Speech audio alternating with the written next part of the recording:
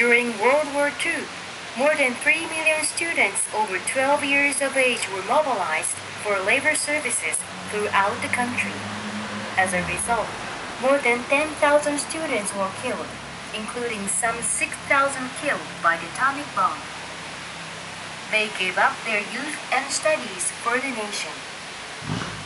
This tower was erected by concerned families and friends to console the souls of these victims who sacrificed themselves for their homeland and who would have had a promising future had there been no war.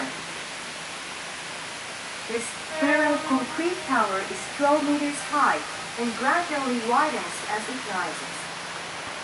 The exterior surfaces of the five piers are finished with Aritayaki ceramic tiles.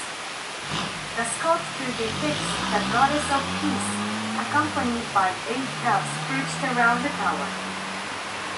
On the center pole are lights offered to God in memory of the lives that were extinguished.